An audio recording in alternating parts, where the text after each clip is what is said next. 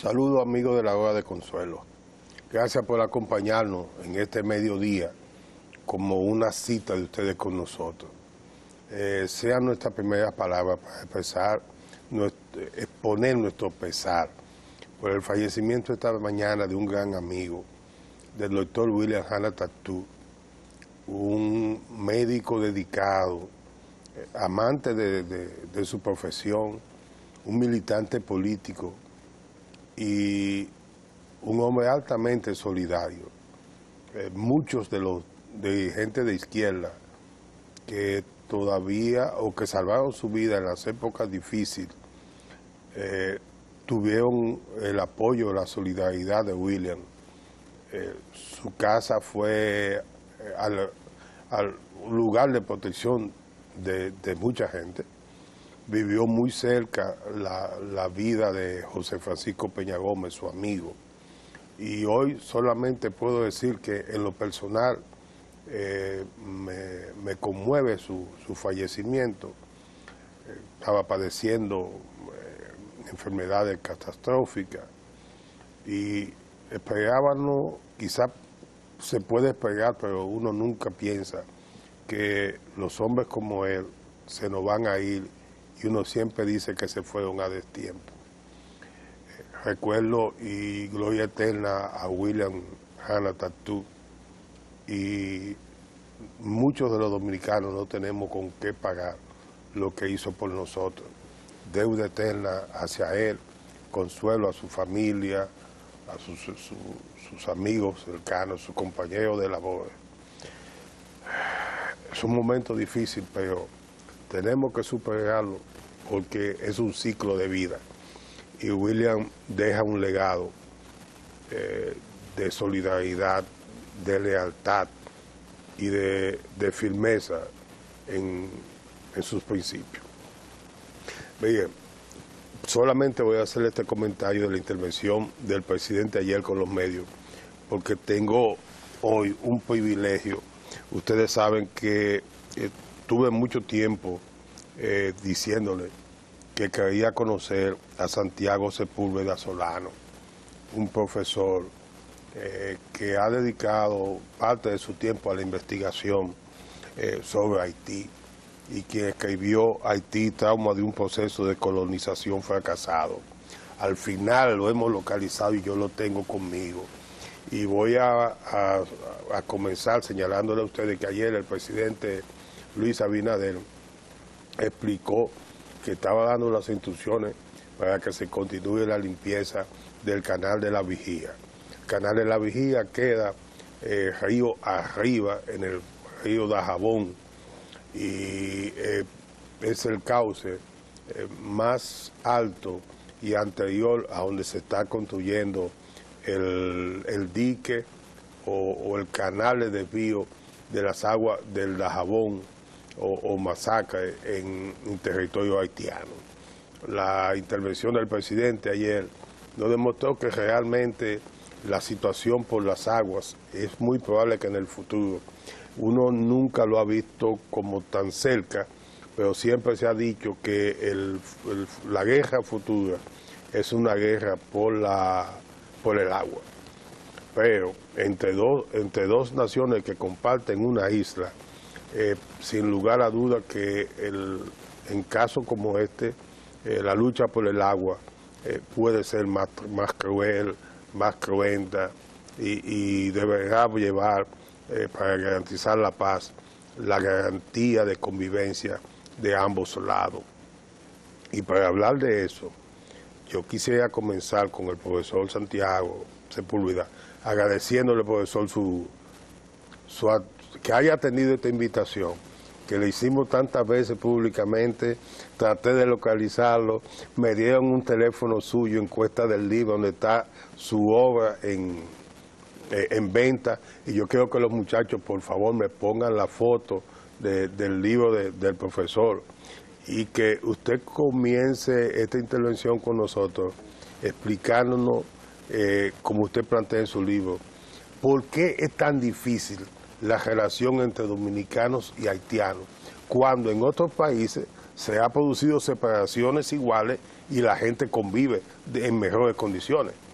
Buenas tardes, Waldi. Eh, gracias por la invitación, solidarizándome con eh, el pesar por la muerte de William Hanna. Eh, saludo para tu teleaudiencia cautiva, saludos y deseo de recuperación rápida para Doña Consuelo. Y bueno, la naturaleza del desarrollo mm, del, pueblo haitiano tiene características que no la vamos a ver eh, en casi el desarrollo de ninguna eh, de las naciones que nosotros conocemos dentro del proceso colonial. El proceso colonial eh, haitiano fue sumamente traumático, como señalo en el libro. El, nivel de maltrato y las dificultades que enfrentó para aflorar como pueblo independiente eh, le obligaron a permanecer alrededor de 200 años sumido en el más cruel maltrato que se puede eh, eh, colocar a un pueblo en su desarrollo. Que contrariamente a lo que ocurrió en el proceso colonial español, en la parte este de la isla, los, los negros que fueron estableciéndose en la parte oeste estuvieron sometidos a un proceso diferente, en el que cada uno de sus derechos estaban privados, incluso hasta la propia vida.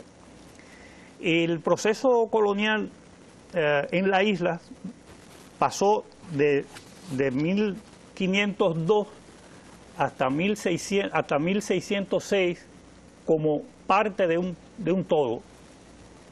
A partir de 1606, pues ya el proceso de desarrollo colonial en la parte oeste es diferente al proceso colonial en la parte este. ¿Por qué se da ese proceso? Porque la parte este, la administración colonial, encontró la dificultad de, de, no poder gestionar el mercado eh, pirata que se desarrollaba en todo el oeste. las poblaciones de Vallajá, eh, Puerto Plata, eh, Montecristi y La Yaguana estaban bajo el control pirata. Y ya el mercado, que debió haber sido regulado por la Casa de Contratación de Sevilla, no se estaba regulando. Y los, la gente que tenía mercancía, ya hasta de San Juan de la Maguana, estaban dirigiéndose a los puertos del oeste y, de, y norte de la, de la isla, porque allí no pagaban impuestos. Evadir el impuesto fue el atractivo que eh, indujo a los a, lo, que tenía mercancía a llevarla a la parte oeste de la isla. Como España y la, administración colonial no tenía el poder para regular ese mercado, lo que decidió fue quitarle eh, el atractivo de la producción. Y ahí viene lo que se ha llamado como las devastaciones de Osorio de 1606. Por eso es que 1606 es el momento en que se, divide el desarrollo colonial. ¿Qué ocurrió? En vez de ser eliminado el atractivo del mercado, lo que hizo fue que le, le, ofreció un terreno propicio para que se desarrollara de manera eh, total. Lo que pudo haber sido eh, aprovechado por las autoridades españolas gestionando eh, desde el punto de vista aduanero ese mercado, pasó a ser regulado por los corsarios, piratas y bucaneros. Para que eso ocurriera, las poblaciones de Vallajá y La Yaguana fueron con sus bienes fueron trasladadas hacia la cercanía de lo que era la ciudad de Santo Domingo. ¿Qué es lo que hoy es Monteplata? ahí se formó Vallaguana con esas dos. Con Montecristi y Puerto Plata, entonces se forma Monteplata. Pero esta, esta pregunta, en su libro usted señala de manera fundamental tres o cuatro aspectos de diferencia que permiten que tengamos en la isla dos Ahí voy. o sea, en medio de una isla pequeña, 72 mil kilómetros, ¿no? Eh, pero dos grandes, dos diferencias tan abismales. Ahí voy. Eh, bueno, en principio, eh, esos, ah, esa administración que establecieron los corsarios y piratas, que en realidad uno dice franceses, había ingleses, holandeses, pero lo que se adueñaron, o sea, lo que se apropiaron del control fueron de las de, la parte norte de España, hombres que nunca se aclimataron a la sociedad francesa. Por eso ellos no hablaban francés, ellos hablaban un dialecto del francés que es el que luego se va a convertir en creol. Por eso, cuando llegan a establecerse aquí, para ellos poder administrar eh, el proceso productivo, eh, dieron a conocer a los esclavos y a los que administraban, a los que dirigían los esclavos, ese, idioma que luego se fue surtiendo con los, los dialectos que traían los eh, negros africanos, cada uno por grupo, cada uno con su dialecto diferente. Entonces, el proceso que se llevó allí no permitió que la lengua francesa se difundiera entre los, los esclavos que, se, que fueron a formar parte de ese desarrollo colonial. Al no poder transmitir la lengua, no se pudo transmitir la cultura, francesa. Claro. Bien, luego... ¿Y qué pasa entonces en esa, en ese mismo renglón? ¿Qué pasa de este lado de la isla? Ah, no, de este lado de la isla, ese proceso es llevado por el idioma español y en el idioma español se transmite la costumbre española y se transmite por encima de todo la religión que es la que lleva el proceso educativo. Ok, y la religión entonces en... Allí en la parte norte, como los que dominaban el, eh, el proceso eran los, los corsarios y piratas que formaron una organización que ellos llamaron eh, la Cofradía de los Hermanos de la Costa, esa cofradía tenía eh, como fundamento que no asumía compromiso con ninguna religión, no asumía compromiso con ningún, ninguna metrópoli y bueno, uno de sus principios decía que no se introdujeran mujeres francesas a la, a la, a la isla. Entonces, ahí se da una discriminación. Sí, claro, claro, claro que sí. Más, se está perjudicando la posibilidad del desarrollo de la familia, que es la base del desarrollo colonial.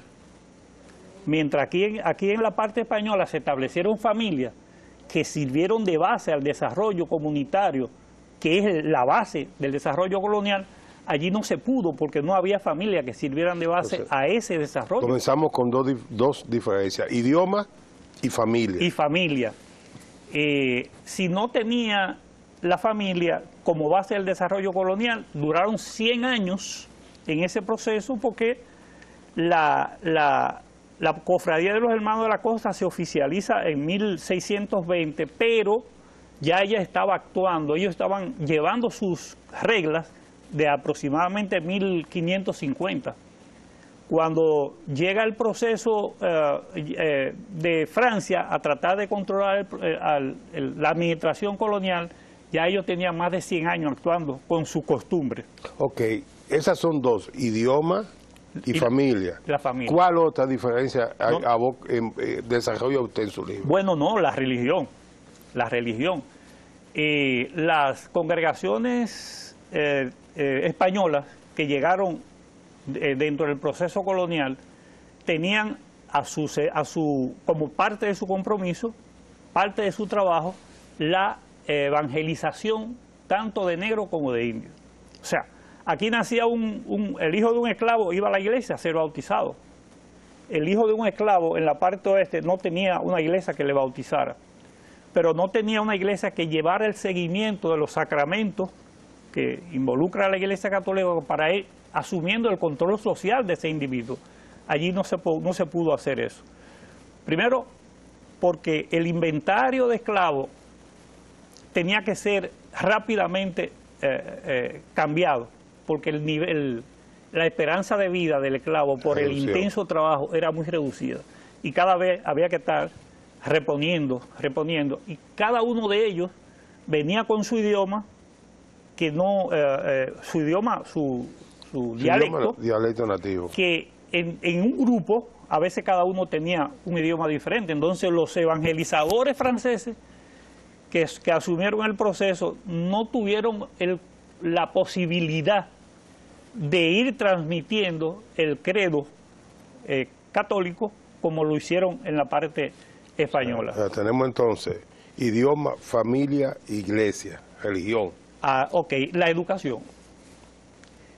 La educación eh, en la parte de los colonos eh, franceses estaba restringida solo al, al blanco, al, al, dueño de esclavos. Y de manera limitada, porque como dice eh, Moro de San Mary, eh, las escuelas que se establecieron en esa colonia solamente enseñaban a leer y escribir y, enseñaban fundamentos de matemáticas. ¿Y la de aquí? La de aquí no, la, ya aquí, en, eh, la primera escuela de aquí se fundó en 1508, ya aquí había escuela. Y en 1538 ya había una universidad. Moró de San Mary se queja de que arribando a 1710 años antes de la proclamación de, de, su de, de iniciar su revolución, allá no había una universidad en Haití. Y él se quejaba diciendo, siendo esta la colonia más rica, la llamada más productiva y, que se, da el bombo a nivel mundial de que es la más rica, no tiene una escuela cuando ya la parte eh, española tenía, la, la, Universidad de la parte española tenía 252 años. O sea, ahí hay cuatro, cuatro aspectos. bueno, mis amigos, oigan, oigan esta diferencia, ¿eh? De, en la esencia, el profesor lo, lo desarrolla ampliamente en su libro, pero nos señala que el idioma, entre ellos mismos no se podían entender, nunca formaron familia, sino 100 años después de estar ahí, después de la, eh, la religión, Aquí se pudo tener una religión, ellos por la, por la diversidad de habitantes, con, con culturas religiosas distintas, no pudieron tener una religión aquí, y luego la educación. Y luego la educación. Ah, ¿Y hasta qué punto permitieron ellos en ese proceso eh, que lo educaran? O sea, ¿había una resistencia a la educación o es que los propios religiosos no podían educarlo. ¿Cuál fue el problema? Bien, eh, quienes encargaban, se encargaban de la educación en el, todo el proceso colonial americano fueron, era la iglesia. Y cuando eh, los, los colonos veían un acercamiento entre eh, las congregaciones religiosas y el esclavo, lo acusaban de, de conspiradores. Tanto que los jesuitas fueron expulsados en 1664, 1764, porque estaban conspirando con la producción. Y conspiraban con la producción porque, por ejemplo, el Día Santo en la colonia francesa no se guardaba, en la colonia española se guardaba el Día Santo, en la colonia francesa no se guardaba el domingo, en la colonia eh, española se guardaba el domingo y el, el colono estaba obligado a darle el catecismo a, los, a sus esclavos y enseñarle y, darle el rosario y respetar el día el día el día el día de trabajo. De hecho, de hecho aquí tuvimos eh, el, el, sermón del monte. Sí, claro, claro. De Montesino. Claro, y los negros eran bautizados y, se, y, asistían a la iglesia en su día libre. Eh, entonces, allí la educación estuvo limitada, como dije ahorita, a una escuela para enseñar a leer y a escribir a los hijos de los colonos. Para los esclavos no había, eh, escuela, no había educación. Cuando se proclama la independencia haitiana, no había una sola escuela en Haití.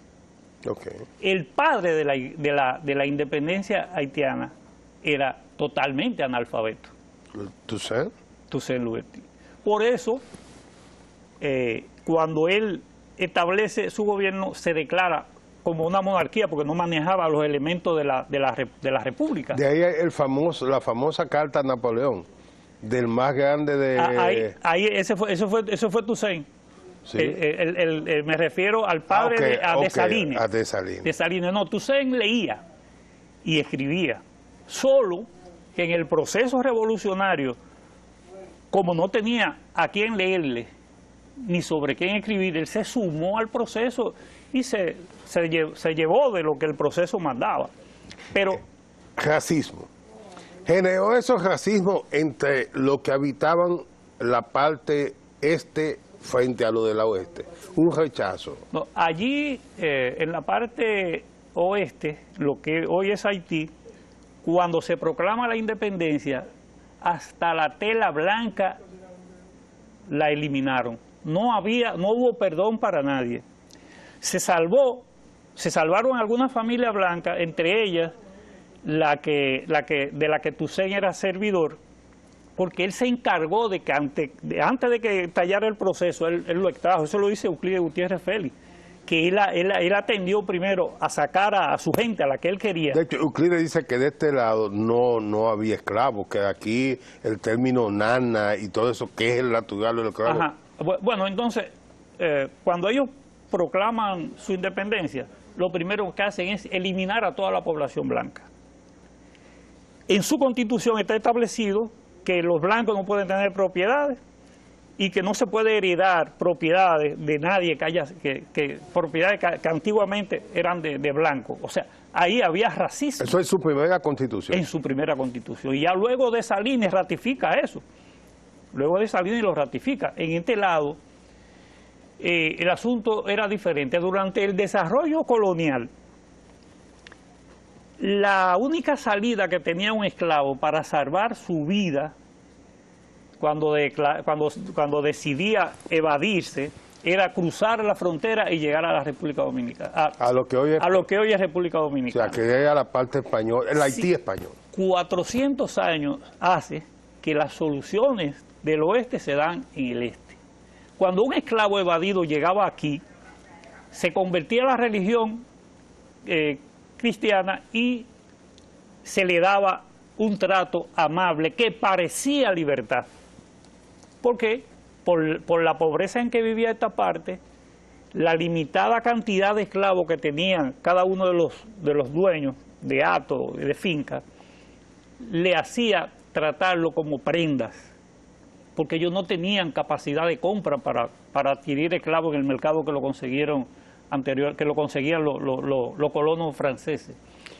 Profesor, el mensaje que hay en, la bandera y el escudo. la bandera son rojo, azul y blanco. Así es. Eh, los escudos pudieran tener diferencias. Usted en su libro lo señala.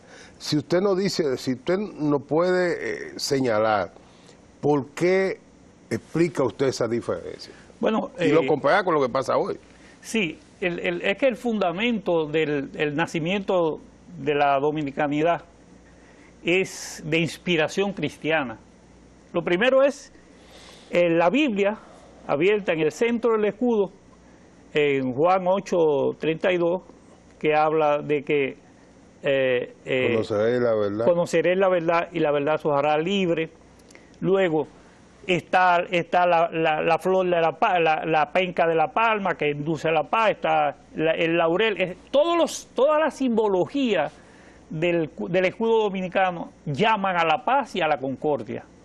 Incluso eh, cuando se hace la comparación, nosotros vemos que mientras nosotros eh, estamos inducidos por nuestro escudo nacional hacia la paz, el escudo eh, haitiano está, induce a, la guerra, porque todo lo que hay allí es arma. ¿Qué, tienen?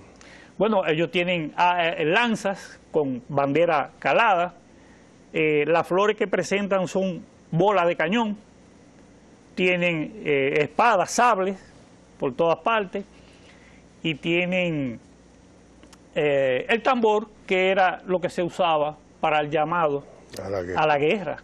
O sea,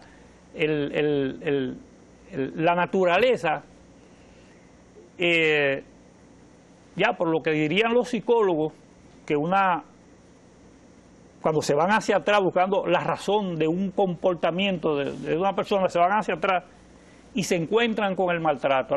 esa población fue muy maltratada durante 200 años. Y, el, y la actitud de hoy responde a un trauma provocado por ese maltrato. Por eso yo digo que es el trauma de una colonización fracasada, porque es, es que ese proceso de colonización a que ellos se vieron sometidos lo maltrató tanto que luego eh, la reacción de ellos no podía ser otra que, odio y confusión. Pero primero digo, salimos del, salimos del proceso ya de eh, independencia, eh, Haití independizado. Tenemos la República Negra de Haití. Sí, no, ellos tienen, ahí, lo primero que se acá apareció no fue la República, fue una monarquía, la de Desalines. Okay. Desalines a los dos años muere, envenenado parece, y Cristóbal, negro, con la misma condición académica que de Salines, analfabeto, y Alejandro Petión, un mulato educado, no se ponen de acuerdo y el Estado haitiano se divide. ¿Qué ocurre en el norte? Cristóbal, que no manejaba los hilos de la República, se declara emperador. Henry Cristóbal, em, eh, Henry I. Y en el sur, Petión eh, que maneja los hilos de la república, genera una república. La diferencia, y algunos autores la, presentan, es que el sur no era muy productivo y el norte sí lo era, porque en el norte el emperador trataba a sus negros igual que si él fuera un amo, sometido a la más regia eh, dureza del trato, bien tratando que eh, el, hombre democrático del sur, Petión, tenía incluso planes sociales que protegía a las, a, las viudas, que protegía a los niños, que protegía a los ancianos. O sea, una legislación tan avanzada que yo creo que en estos tiempos en Haití no se ha igualado. O sea, planes como lo que desarrolló Petión, incluso una reforma agraria, pero no solo eso. Cuando Bolívar se ve derrotado, donde va a buscar ayuda, es a, los salones de Petión, y es Petión quien le arma y le prepara, no solo para la liberación de Venezuela, todo Sudamérica se vio afectado por ese proceso. Lo que pasa es que no se le reconoce, no se le reconoció a Haití esa parte. ¿Influyó eso para que Bolívar no aceptara la propuesta de Núñez de Cáceres? Claro que sí, claro que sí. Es que Núñez de Cáceres no veía el asunto completo.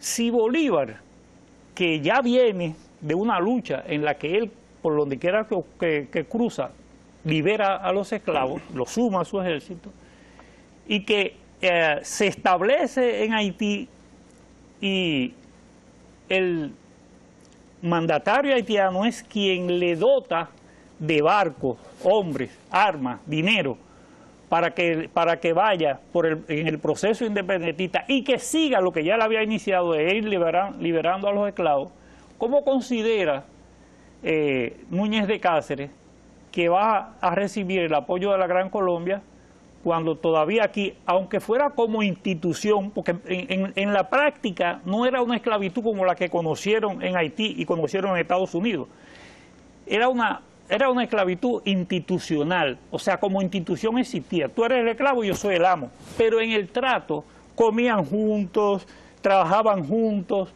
todo se hacía de manera ah, ah, como si fueran una misma persona.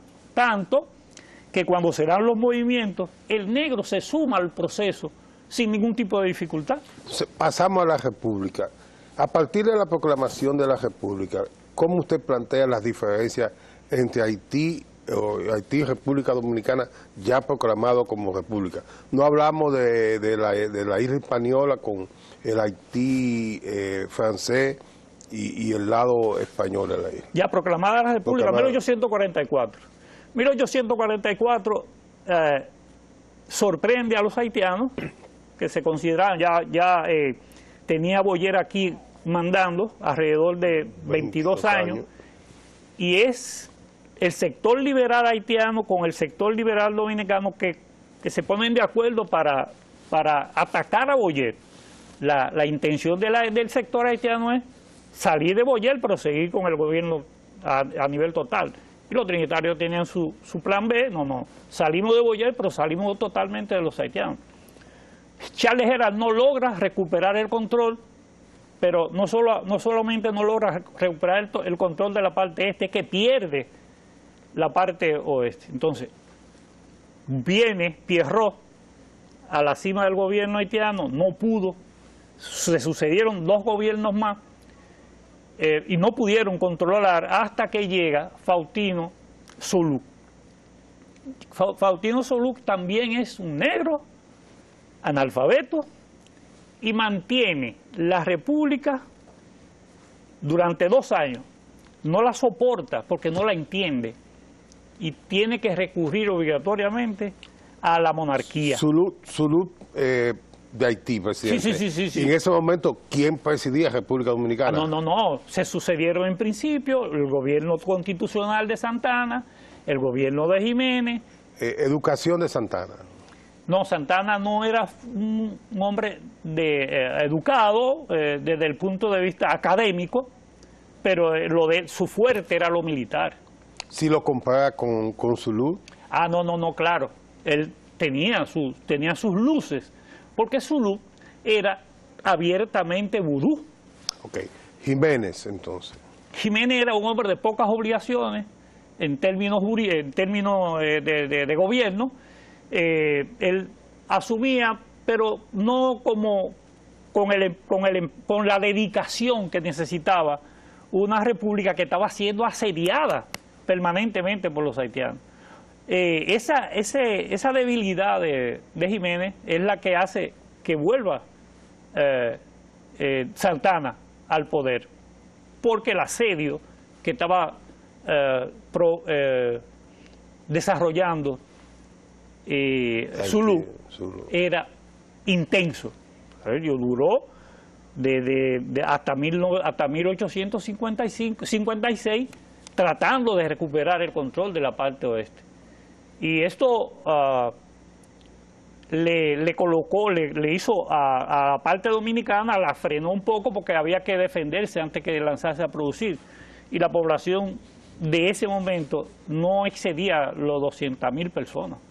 Si hablamos hoy, porcentaje de población eh, haitiana o descendiente de haitianos. Hoy eh, cuando, cuando yo estaba haciendo la investigación del 17 hasta el 20 aproximadamente, nosotros calculamos que debió haber alrededor de un millón y medio de, inmigrantes haitianos, entre legales y ilegales. Eh, y cuando lo, proyectamos a la población del, del 2010, que era el referente, nos daba aproximadamente un 14% o sea, el 14% de la población dominicana está constituida, o estaba constituida en ese momento, por personas de origen haitiano, o eh, eh, ilegales o, ilegales. Pero ¿cómo usted en su libro señala eh, una diferencia entre el inmigrante de hoy y el... Oh, sí. bueno, fundamentalmente porque yo digo que yo tengo mi batey, o sea, yo tengo conocimiento del batey, evidencia del batey, y yo sé que el trato, el desarrollo eh, de la personalidad de un inmigrante que eh, en el Batey eh, no es la misma que la de una persona que recién llega al territorio dominicano. el, habitante del Batey va aquilatando los valores dominicanos, la costumbre dominicana, los usos dominicanos. el, hijo del haitiano tiene el, o tenía el derecho de ir a la escuela como lo tenían los hijos de los dominicanos, solo que algunos, los recién llegados, por la costumbre, tenían a sus hijos y se los llevaban para las plantaciones de caña a hacer trabajo, eh, agrícola. trabajo agrícola. y bueno, a veces uno no entendía eh, el por qué en vez de estar en la escuela, el niño estaba en el campo. Eso era una herencia de su, misma, de su mismo proceso de, esclavitud. O sea, el niño nacía y desde que caminaba y tenía eh, eh, dominio, tenía que ir a la plantación. Incluso, cuando los norteamericanos en su ocupación intentaron implementar la escuela, que es un asunto que hay que reconocer a los norteamericanos. 1916. Ellos lo intentaron. Se encontraron con dos oposiciones fundamentales. Lo primero fue que ellos dijeron, ¿en qué idioma vamos a educar? El haitiano el único idioma que habla estamos hablando del haitiano promedio, el 95-97% de la población, es el, el, idioma que oye cuando nace, es el creol. Y la, la educación que tenemos proyectada es en inglés o en francés. Entonces, ¿a quién vamos? Y el segundo es que cuando ellos plantearon la posibilidad de, instalar escuelas en diferentes regiones para fomentar la educación, la clase alta haitiana del momento se negó, porque los hijos suyos no podían estar junto con los hijos de los campesinos estudiando. Al final, los norteamericanos hicieron una buena cantidad de escuelas, pero resulta que la población que se inscribió o que ellos lograron inscribir, de esa población solamente asistía un 23%. Estamos hablando de, de, de 1916 a 1900. Eh, en un momento determinado de la historia coincidió que los norteamericanos tenían invadido Haití e invadido República Dominicana. Y República Dominicana, sí. Ambas. Sí, sí, porque nos, lo de nosotros fue en el 16 y la de ellos fue en el 15. Ellos, ellos mantuvieron hasta el 34 en Haití y hasta el 24, y, y hasta el 24 en la parte en la parte. Nosotros éramos un problema más fácil de resolver, hacer carretera, el plan Torre, tener eso, eso, pero allí el asunto era difícil. Ellos siguieron dando la pelea. Eh, pero algunos autores dicen que salieron vencidos por eso. Entonces, la asistencia, como decía, la asistencia a la escuela era de un 23%. El 75% de los profesores que ellos lograron reclutar eran analfabetos en el idioma que se pretendía estudiar, que era con el francés y el inglés. Entonces, al final, han pasado ya han pasado 100 años, casi 100 años, y el idioma, uh, el, el creol se hace idioma hace apenas 40 años, 1983. Pero no sabemos todavía si la escuela haitiana está preparada para una educación en el idioma que habla el... el, el Lo que envuelve a hacer una escritura nueva... Bueno, llevar todo el conocimiento que tiene el mundo al idioma creol. Mira, profesor, eh, yo he mencionado muchas veces su libro, como para mí, usted y, y Jean Bazán, eh, de todo lo que he leído, son los que más se acercan al problema, parten del, de, de, del origen, Así es. que es fundamental para uno analizar una sociedad. Ahora, en el día de hoy, que tenemos esta crisis, se habla casi de dos millones de, de, de haitianos, que la migración es constante. ¿Representa esos peligros para la República Dominicana, partiendo de los estudios que usted ha hecho? Mire, en realidad, uno dice peligro per se. El peligro es que no tenemos control del proceso. Y eso ya es malo. O sea, el hecho de que podamos convivir con una cantidad de, de, de personas de diferente, de una nación diferente, no es un problema. El problema es que no tenemos control de esa población. O sea, nosotros no sabemos con exactitud cuánto han entrado, ¿Quiénes son? quiénes son, ni cuál es su, inte- su intención. ¿Ni dónde están? Solamente recibimos la consecuencia. Entonces, eh, es una población que merece ayuda, merece atención, pero los, lo- lo- los, los parámetros con que cuenta la República Dominicana para, para poder responder a las necesidades que genera ese- esa carga poblacional no existen. Aquí en República Dominicana se planifica para una población, para la población dominicana y, y- y- y algunos extranjeros que están aquí registrados, que tú lo tienes ahí como carga poblacional, y cuando tú haces tu cálculo, tú dices, bueno, yo tengo tanto. Pero si a eso tú le sumas que te están entrando 100 mil, que te están 200 mil, ¿cómo tú respondes? Si hay que generar alimento para ello, hay que generar educación, hay que generar salud, hay que generar... No puede ser Espacio para vivienda. espacio de vivienda. Y bueno, nosotros eh, te- debemos tener el control del proceso.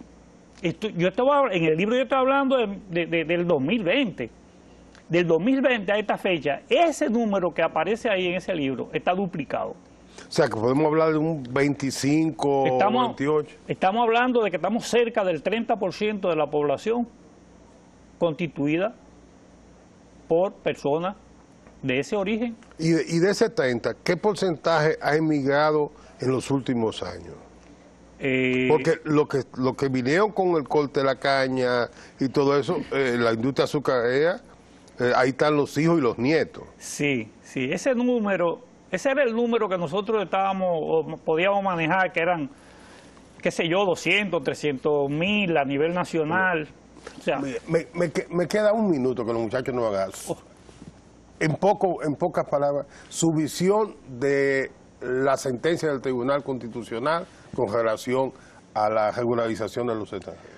no, no, no, yo, yo creo que, eh, yo no sé hacia dónde va ese proceso porque ya el periodo para hacer... eh, Sí, pero lo- los efectos que tuvo para usted. No, no, no tuvo efecto, el efecto se estaba buscando por, por un problema que hay que resolver en Haití. Hay que documentar a los haitianos en Haití para que se puedan presentar aquí y buscar la posibilidad de que se le se les reconozca y se le acepte como, como, como un extranjero que está buscando espacio en una nación mire, extranjera. mire, maestro, eh, estos cuarenta y pico minutos con usted son una, una cátedra. Primero, eh, reconocer mi, eh, el esfuerzo que usted ha hecho con ese trabajo. Eh, creo que debe ser un libro de consulta y de texto en los estudiantes dominicanos, porque nosotros no conocemos la historia de nuestros vecinos. Ese es un trabajo grandioso con algunos que ha escrito Euclides, que también tienen mucho valor. Yo le agradezco que haya dedicado este tiempo y pedirle que por favor en otra ocasión podamos seguir hablando de este tema, porque estamos hablando de algo fundamental, que es la educación del pueblo dominicano. Quien no conoce a su vecino no sabe lo que pueda suceder. Así es. Gracias, eh. Eh, yo estoy a tu disposición y ya luego nos veremos para que hablemos, porque no hablamos del canal, hay que hablar del Hay que canal. hablar del canal. Hay que sí. hablar del canal. Bueno, señores, este, esto ha sido un, un manjar lo que nos hemos dado este, en este mediodía, en la hora de Consuelo. Yo sé que cuando eh, este, este video lo, Consuelo lo, lo vea, se va a sentir muy satisfecha. Gracias a todos ustedes. Y mañana sigan a la una de la tarde en este canal 45 y 12 en Teleradio América, la hora de Consuelo. Pasen buenas.